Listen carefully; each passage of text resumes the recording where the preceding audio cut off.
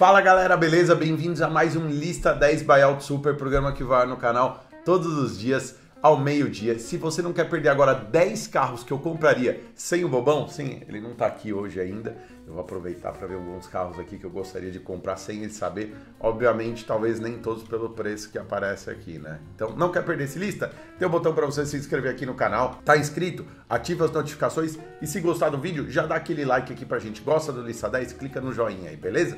Bom, em primeiro lugar, coloquei o Miura Top Sport. É, seguinte, coloquei esse carro aqui é, porque eu queria ter um Miura, mano. Eu acho da hora Miura. Só que é foda pagar 80 pau. Esses carros subiram de preço, velho. Eu tava tipo, custava 40, 50, um zero.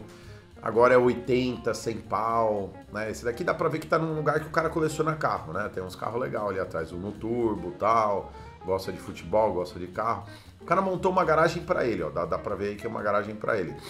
Porém, Mano, eu acho é, um dinheiro um pouquinho alto para se pagar no Miura, considerando o fato de que eu sou pobre. Deve valer, tem 25 mil quilômetros, ano 89, 90. Ele colocou alguma descrição aí, produção? Nada, né? Cara, esses carros mais antigos é legal quando o cara coloca alguma descrição, porque daí fica fácil da gente entender se o carro já passou por uma restauração, como é que foi, blá blá blá e assim por diante. É, próximo, não vou poder comprar esse. Bom, em segundo lugar aqui, Smart Fortwo. Sim, esse carro ele foi um sucesso na nossa lista. É, carros bateu, morreu, que na verdade ele não é um bateu, morreu. Inclusive, se você quiser ver essa lista, relembrar uma lista antiga, clica aqui em cima. É, cara, assim, é que esse já é 2014. Mas esses carros aqui estavam vendendo por 29 conto menos, agora subiu 50 e poucos mil. Eu acho caro 50 e poucos mil nesse carro, que cabe duas pessoas só né? Não dá para fazer grandes coisas, né?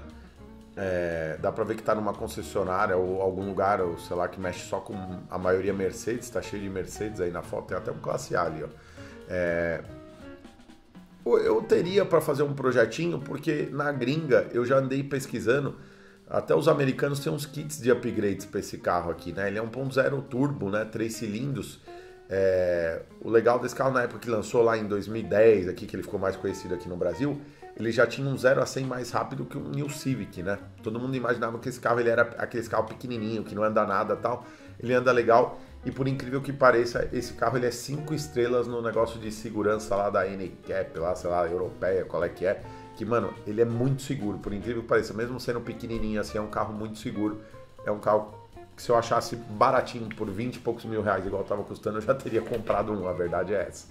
Volkswagen TL. Mano, eu queria muito um, uma TL zeradinha. A gente tem a Brasília, a Brazoca aqui no canal, né? Nossa famosa Brazoca. Eu queria uma TL porque eu acho ela diferente da Brasília e eu queria uma inteirinha, assim, bem cuidada. Essa daí tá com placa preta, tá pedindo 50 mil reais.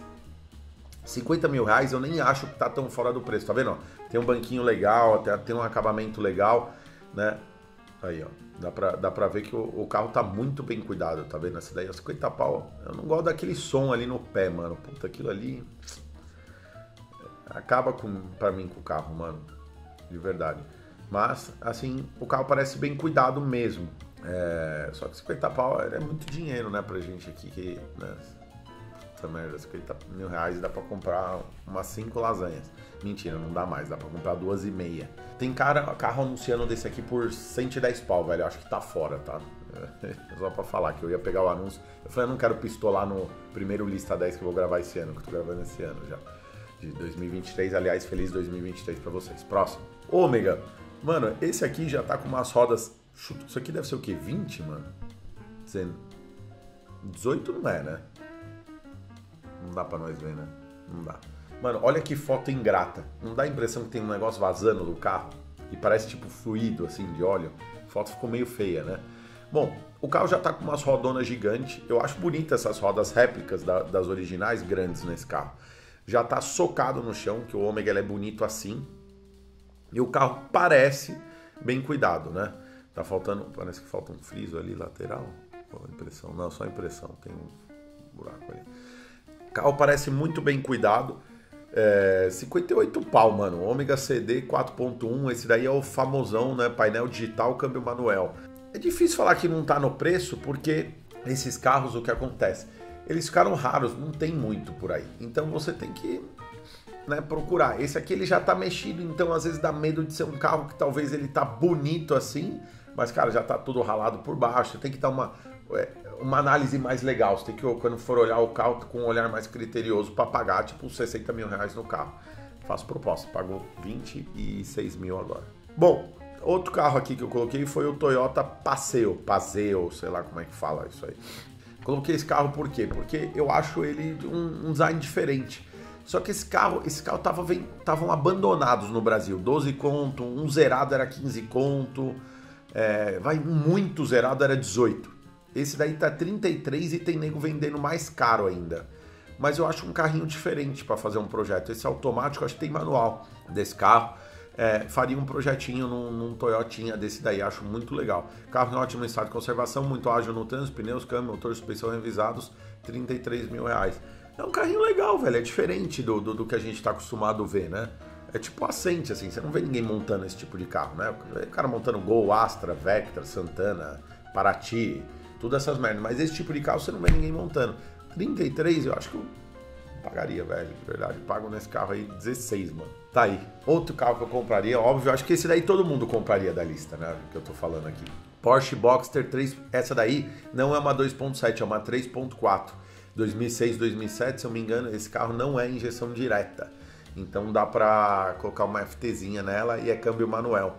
Tá pedindo 230 mil eu acho muito legal essas Porschezinhas, né? Por mais que seja uma Boxster, né? Que há tempos atrás falava, ah, ninguém quer uma Boxster, as Boxster estavam valendo tipo cento e...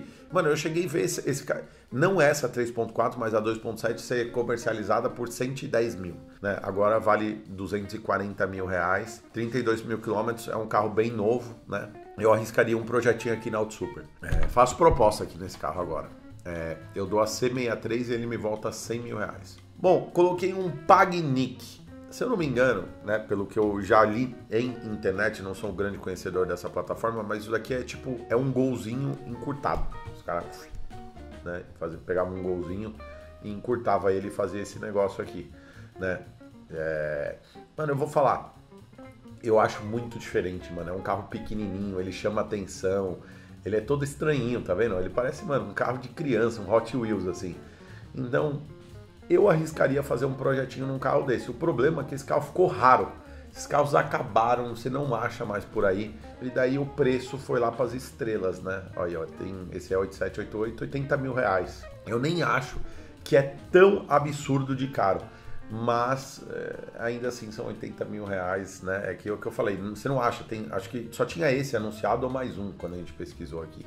Então, o cara pede quando ele, quanto ele quer. Tá bem cuidadinho esse daí, então arriscaria. Por proposta dele agora de 28 mil. Esse seria agora o sucessor da, B, do, da minha Mercedes C63. Hoje, se eu pudesse trocar ela por um carro, tivesse grana para dar um upgrade, eu compraria exatamente esse carro, sem pôr, sem tirar nada.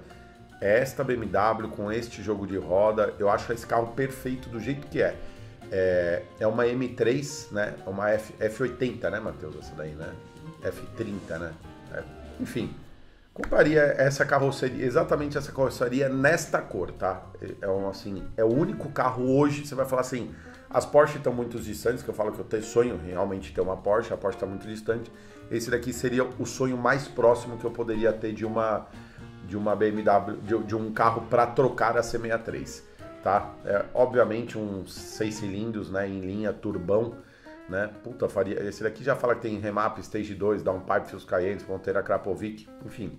Eu daria uma melhorada na nossa oficina lá, faria um, um, um Stage 3 ali, né? Com uma turbina híbrida, para vir uns 500 e quase 600 de roda ali. E, mano, seria o meu dele ali, fácil. É, seria muito feliz com esse carro, acho linda, maravilhosa, parabéns ao dono. Bom, vocês cobram muito aqui projeto off-road. É, eu não tenho muito tesão em picape, assim, tipo uma Maroc, por exemplo. Eu gosto muito das Pajeros Dakar, né? Eu acho o preço fora. Você pegar uma 2010, ela é 90 e poucos mil reais, que eu acho caro. A 13, 14 já é 150. Mas essa daí é um motor 3.2, 4x4, 7 lugares.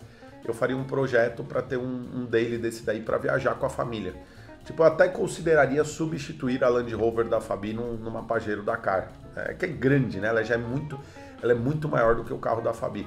Mas eu consideraria é, trocar neste carro, fazer um projetão assim, mais com cara de off, uns, um, aqueles negócios lá para puxar o carro, mano, snorkel, tipo, toda bonitona, assim, cara do mal, sabe? Uns pneus BF Goodrich grandão lá na Pneu Store, que tem promoção lá, corre lá na Pneu Store, usa o nosso cupom de desconto.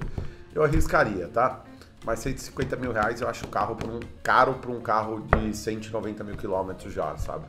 A verdade é essa. Em último lugar, aí você fala assim, tá, e depois da M3? Puta, depois da M3, mano, esse carro tá na a Motors, um abraço pra galera da Yellow Motors, já gravamos, inclusive esse modelo lá. É, é uma Mercedes-Benz C63 AMG 4.0 V8 biturbo, né? Depois da M3 eu teria isso daí, velho. Eu sou apaixonado pelas Mercedes, pode falar o que quiser. Assim, ó, qual a diferença? Eles colocaram duas fotos. Ô Viriá! Ô Vitor! Põe foto! Amigo nosso, então posso, né? Mas pelo amor de Deus, né, mano? Enfim, não vou poder mostrar nesta, neste anúncio que eles fizeram que está cagado, é, mas falar especificamente, você vai falar assim, eu acho a M3 azul mais bonita. Esse carro é mais classudo, mas eu acho a M3 ainda mais bonita, mesmo sendo mais velha tal. Só que a diferença desse carro é quando você entra dentro dele e você entra dentro da M3. Cara, quando você entra dentro da M3, você tá numa série 3 da BMW. Quando você entra numa C63, meu amigo, é puro luxo, mano. Essa é a diferença. Isso, isso aqui é um requinte, é luxo. A M3 ela chama atenção por fora, azul tal. Mas esse carro é animal. Se você quiser ver esse carro que a gente gravou lá com o Vitor da Yellow, clica aqui. Eu os spoilers para os membros aqui. Bolinha para se inscrever no canal. Dá um pulo aqui no Auto Superstore. Tamo junto, é nóis.